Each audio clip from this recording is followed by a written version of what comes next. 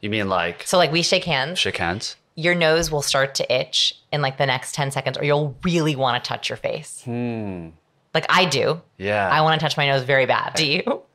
I mean, I'm like actively think. I'm trying not to actively think about it just for the sake of it, but So like they they're what they studied is that your nose like kind of tingles yeah. because it wants you to bring your hand to your nose so you can kind of smell it. I This guess so. the I mean, weirdest. just naturally, you're just bringing it back, right? But like wa- watch. So Yeah. like this is the this is the weirdest thing I've ever said on YouTube. But like go to a networking event Okay. or a business event and just watch. You will see that people will shake hands and within like 10 to 15 seconds they inexplicably touch their nose or their face. Right. Something around it. You're saying Something saying. around it because their hypothesis is it's our way of like very subtly being like, are we good?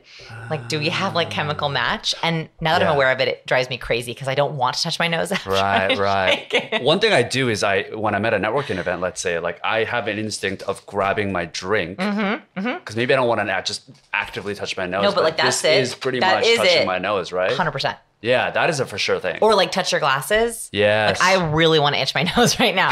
like it actively itches. Interesting. And I wasn't itching before. And it, do you think that's just for even? Oh, this is not dating. This is like This is any